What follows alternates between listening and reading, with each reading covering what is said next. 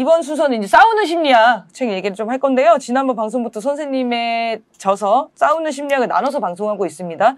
지난번에 사람은 사회적 존재이고 이기심은 본성이 아니다라는 내용을 다뤄가지고 굉장히 화제가 됐어요. 많은 분들이 공감도 해주시고 어, 새로 들, 새로 알게 되는 내용들이 많았다고 얘기가 많았었는데요. 오늘은 그 내용을 좀 이어서 얘기하겠습니다. 인간은 동물적 본능에 충실하다는 주장 외에도요, 인간 본성에 대한 다른 주장들이 무엇이 있는지 알려주시면 또 새로운 것 많이 알게 되실 것 같아요. 음. 어떤 것들 있어요? 별거 없어요. 뭐몇개 없고. 별거 없어요? 죄송합니다. 아, 이, 이 주장이 보통 제일 큰 게 동물적 본능이거든요. 네, 이게 제일 커요. 음, 프로이트도, 이- 프로이트도 이거죠. 진화심리학도 이거죠. 행동주의도 사실 이거예요. 음, 어, 거의 이 생물학주의적 관점, 인간을 그냥 생물로 보는 네.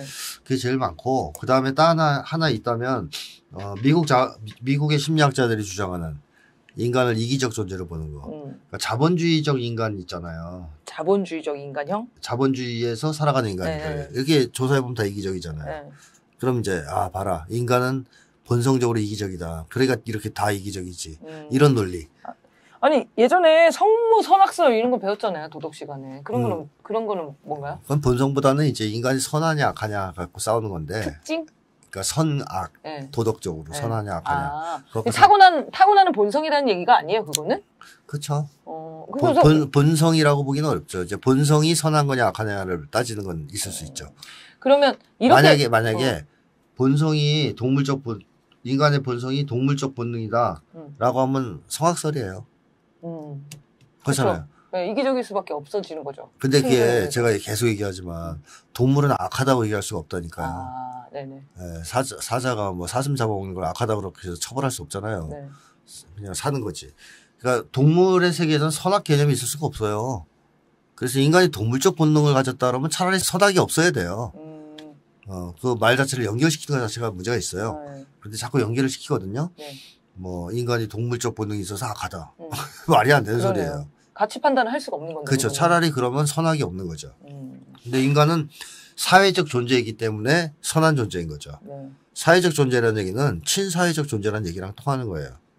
그래서 사람이 인간관계를 필요로 하고 음. 사람과 단결하고 협력하면서 살아가고 이런 존재라는 것은 친사회적 존재라는 얘기거든요. 네. 그렇다면 사람의 본성은 오히려 성 악보다는 성선에 가깝다고 봐야죠. 성선설이라고 봐야죠.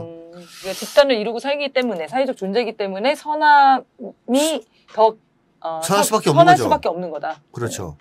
백지설 이, 이 성무 성악설을 한번 여쭤보려고 했는데 음. 그닥 본류는 아닌가 보네요. 이, 이, 이 이론은 백지설은 그 옛날에 그 영국 경험론자들, 네. 철학자, 걔들하고 그다음에 미국의 행동주의 심리학 네, 이런 데서 주장한 게 백지설이에요. 네, 인간에게는 본능 따위는 없다. 네. 얘들은 없다는 거예요. 본능설이 아니고 음. 본능이 없다. 본성이 본성이, 본성이 없다. 없다. 본성이 없다.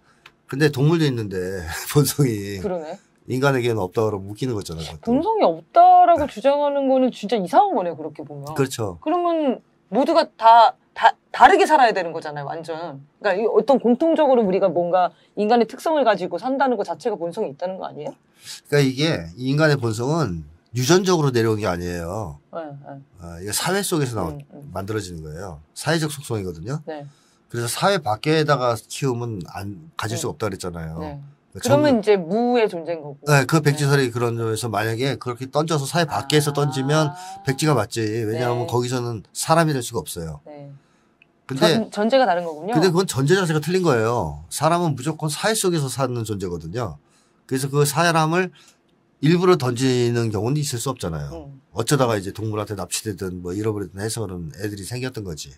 그래서 사람이 사회 속에서 태어나 성장하면 사회적 인간으로서의 특징들을 갖게 됩니다. 네. 어, 그래서 사회적 존재라는 것은 이제 그런 거고 동물이 키웠을 때는 어쨌든 인간은 될 수 없습니다. 인간은 인- 그러니까 인간의 본성은 사회와 관련이 있다라고 봐야 되는 거죠. 네. 항상. 사회적 본성이다. 그렇죠. 네. 사회적 존재라고 하면 그 음. 환경과 사회의 영향을 받는 거니까 그 음. 환경과 사회가 어떤 모습을 가졌냐에 따라서 어 자기 개인 그러니까 뭐 인간 전체라고 할 수 없지만 개개인의 가진 성품은 좀 달라질 수 있겠네요. 근데 환경과 사회는 그 시대적으로 딱 정해진 그 시점, 시점이 좀 있잖아요. 음. 근데 인간은 역사가 있잖아요. 또 음. 역사를 통해서 내려온단 말이에요. 쭉 네. 이어져서 이게 이어져 내려오면서 인간의 속성에 영향을 미쳐요. 네. 가지고 있는 성질이나 그렇기 때문에 이 당대에 있는 것보다 훨씬 더 뒤로 내려갈수록 인간이 가진 어떤 능력 같은 게 커진단 말이에요. 음. 그러니까 당대의 환경에만 영향받는 존재가 아니에요. 또 음. 사회 역사적으로 어, 영향을 받는 존재거든요. 음.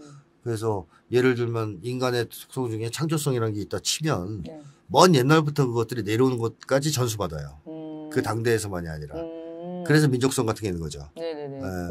오랜 세월을 거쳐서 만들어진 거기 그렇죠. 때문에 그죠. 어, 그 영향도 더 오래 가는 거고. 그렇죠. 그래서 그런 쉽게 안 본성이 된 없어지는 거죠. 거죠. 예. 알겠습니다. 자, 그러면 여러분들 궁금해하실 것 같습니다. 인간의 본성은 무엇인가? 음. 네, 정리 좀 해주시죠.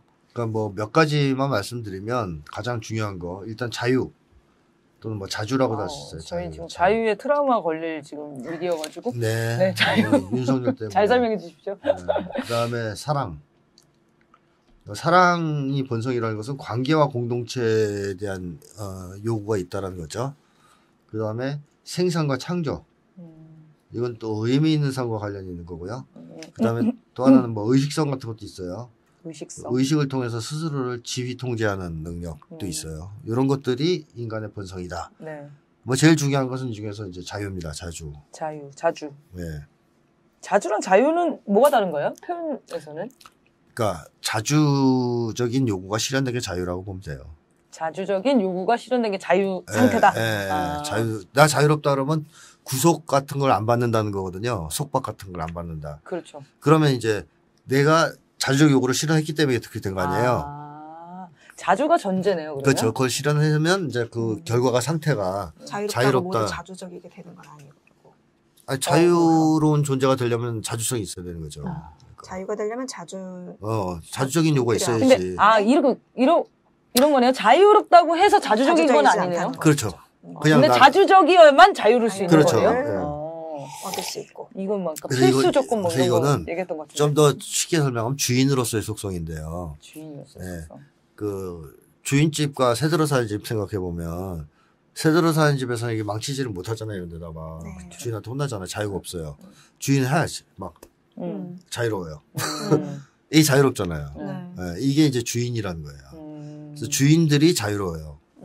그러니까 사람이 세계의 주인, 음. 자기 운명의 주인이 되면 자유로워지는 거예요. 음. 그걸 추구하는 게 네. 세계와 자기 운명의 주인이 되려고 하는 성질이거든요. 이게 네.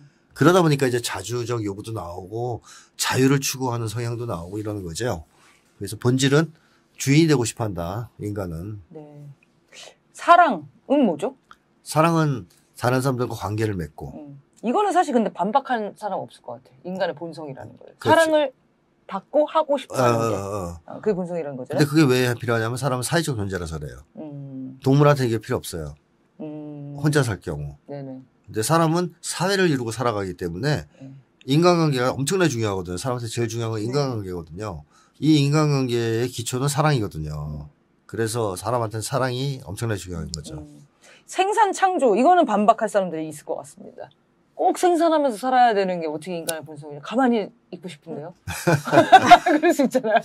그, 인간은 진보하니까 어, 인간은 인간은 진보하지만 나는 가만히 있고 싶은데 이건 어떻게 합니까? 그러니까. 사람이 주인이 되려면요. 주인이 되려면 창조를 안 하면 안 돼요. 음, 생각해 보세요. 집주인이 되려면 관리를 해야 돼, 자기가. 음, 뭐 세도 받고 건물 수리도 하고 그러지 않으면 주인이 될 수 있어요? 주인의 지위와 역할이 다 있단 말이에요. 지휘의 역할. 어, 예를 들어 선생님이 주- 선생님의 지위를 차지하려면 선생님 역할도 해야 되는 거 아니에요? 음, 그래야 주인이 되죠. 아, 선생님이 되죠. 네. 똑같아요. 세계의 주인이 되고 싶으면 주인다운 역할을 해야 돼요. 그게 창조죠. 음, 자, 내가 세계의 주인이야. 아무것도 안 하고 무능력해. 맨날 봉. 맨날 번개치면 맞고 막 죽고 홍수 나면 물에 빠져 죽고 그게 무슨 주인이에요. 네. 주인이라면 그런 걸 통제하는 자연을 개조하는 그런 창조적 역할, 능력을 해야만 됩니다. 음. 그래야 주인인 거죠. 그래서 이 두 가지는 뗄래야 뗄 수가 없어요, 사실. 이 창조와 주인의 이 첫 번째 자, 자주는.